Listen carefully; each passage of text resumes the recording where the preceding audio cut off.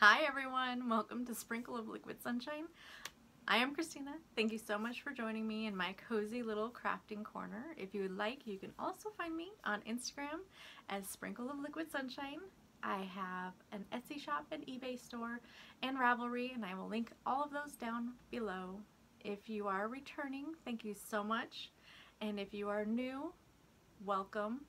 And everyone, don't forget to ring the little notification bell down below so that you don't miss an episode. Today is Fiber Arts a History and I'm so excited. This is episode number two and I am going to talk about something that pretty much everyone has either seen or possibly owns. And that is these little things which usually are labeled as embroidery scissors and they are in the shape of a bird. You can see that. The sun is very shiny today. These I just picked up on Amazon. So, today I'm going to talk to you about why these are shaped the way they are. And the reason I even know about this is about five or six years ago I had um, ordered or won a lot which is also a group of items from an auction, an online auction, um, a lot a, of scissors. And so the scissors all came to me and when I was opening them, I noticed that one pair and in the picture you could see it. I was like, cool, you know, they were a little bit different looking and sort of unusual, so I knew they were probably antique. But when I opened the scissors, I noticed that inside, and I'll show you on these. So when I open them, right here on the ones that I had, had a little picture. And as I look closer, I noticed it was a baby. And I was thinking, what in the world is there a baby on the on the inside of the scissor. But then I looked closer and I realized what I had weren't actually scissors. They weren't sharp at all. They were, the inside of the mouth, the beak area was flat. So I was completely baffled until I looked it up. And I'll just show, I don't know how to edit pictures in my videos yet, so I printed out a whole bunch of pictures to show you. So this is basically what mine, this is not what the pair that I had, but I found something similar online. I think this is just a Google image, or it might have been from eBay. I can't remember right now. So this is kind of what mine had looked like, which, you know, it resembles the little scissors, but they were larger. And when I opened them, and I'll just show you, it had this little thing right here. And like I said, when I look closer, mine was not uh, raised like this, but there's a little baby inside. Why? what are these? They're not scissors. I didn't know what to even call them to sell them because these were all items that I was um, going to list on in my eBay store. So I had to figure out if I could sell them, what they were worth, and what to even call them. I had no clue. So what I found out, and I'll actually, I did research this week to like update myself um, because this was five years ago. I don't remember all the, the details, but since then there's a couple articles that I found that came out from uh, the Smithsonian Institute and they actually had an exhibit, uh, a scissor, a history of scissors exhibit and any uh, websites that I mentioned today I will link everything below so you can go and read it for yourself if you would like. I kind of just took bits and pieces of a lot of things to condense it down because there's a lot.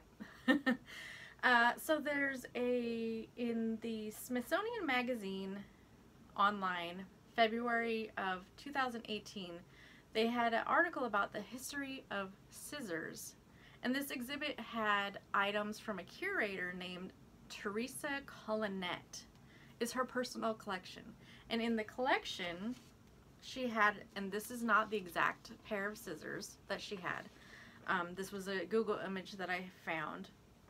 She had a pair of 18th century, they call them in the article stork scissors. And um, if you zoom in on the picture, they they do look like the clamps that I've seen. Clamps, that's what it actually is. Hers was a stork with one leg on a turtle. So you find these actually if you go uh, do a Google search. Um, but this is a very, very ornate pair. So this stork, it does have a, it doesn't show the baby, but there's a baby inside. And this pair actually has some tongues, sort of in the shape of a snake. And it's standing on these two turtles. Now this is from a time when things that they made to use, they often represented um, other things that actually had to do with what they were used for. So this one, this is a really cool pair. It's on little um, turtles. Yeah, that was just, I labeled it. It's just a Google image. Um, the Smithsonian also had a um, second exhibit, crazy, but this was, and this is a, a big clue. This They had a exhibit that showed a satchel that belonged to a midwife. And the satchel was from about the 1920s and it had a pair of stork scissors in it. So we went from this, this clamp thing, and there is a correlation to a scissor. Yeah, so in uh, the the satchel belonged to Rosa Bonfante. I'm probably pronouncing that wrong. She immigrated to the U.S. from Palermo, Sicily in 1922. And the article reads that her satchel contained a pair of stork scissors from approximately 1922. So now we have them as scissors, but still, why, why are they a stork? what are they used for? So it turns out that this because it was in a midwife kit. That was my little clue that I gave earlier. It's actually a clamp. This is a midwife clamp that they used to clamp the umbilical cord of a newborn baby. So what I had in my um, lot that I had won was actually a set of umbilical cord clamp Why a stork? I don't know. Uh, there's different examples of of clamps. Some of them have actually have a fish in the belly. Um, there's some very, very ornate ones. They're very expensive. Um, some of them, so they're standing on a turtle, some have a baby, some have a fish. Um, a stork for baby is because in a lot of cultures, the stork represents fertility. Um, in Roman times, if a stork built a nest on your roof, it was a blessing and a promise of never-ending love from Venus, which is kind of cool.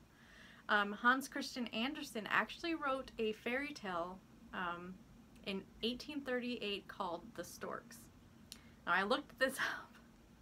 It's a bit on the creepy side, but I'm Hans Christian Andersen. Fairy tales a long time ago were a little on the creepy side. Um, the turtle. I didn't know this before, but a turtle represents fertility in a lot of cultures too. In Polynesian and African um, cultures, they uh, turtles is a sign of fertility. And um, let's see, and I also found Native American tribes, and I'm gonna try my hardest, Lenape and Iroquois believe that the creator of the world placed the planet on the back of a turtle, which they're on the back of a turtle. Babies are new and, and new to the world. So, yeah.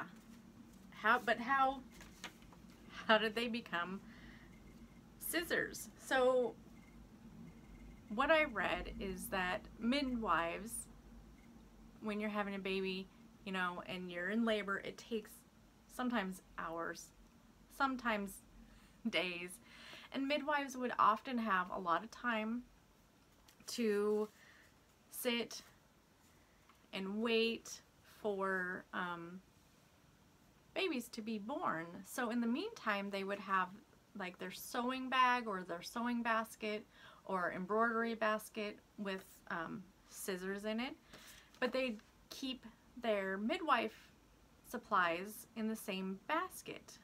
So over time, eventually it evolved from stork clamps to then stork scissors that most people have seen and used and probably have no idea why it's the shape of a stork. I didn't know. I had no clue. I thought it was just something fun I, I had no idea until about six years ago, and I was quite shocked, honestly.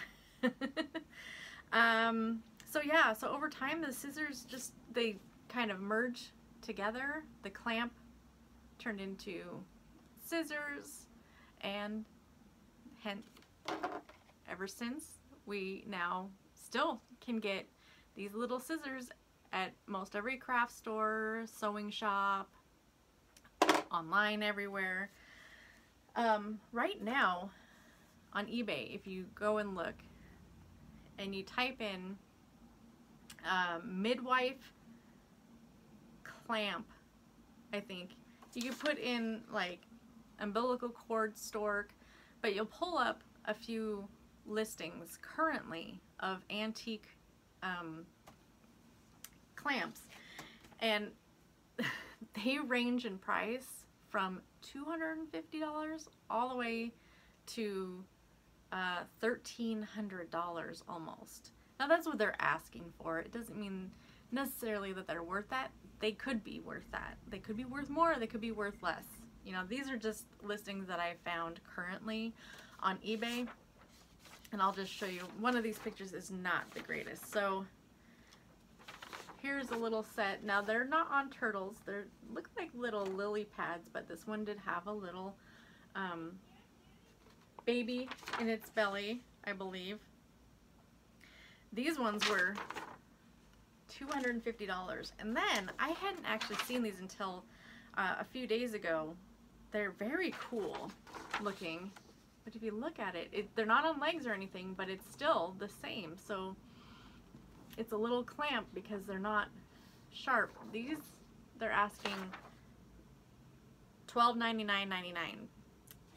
Yeah, for those on eBay right now. So, now, anytime you use your scissors, because I think the same thing too, these, a long time ago, started out as nothing to do with what we're using them for now. Thank you so much for joining me. I hope you learned something. I know I did. Um, I will link anything that I spoke about, um, any research that I did, I will link all those websites down below for you to check out if you would like. Um, yeah, I hope you have a wonderful day. Thank you so, so much for joining me. Bye.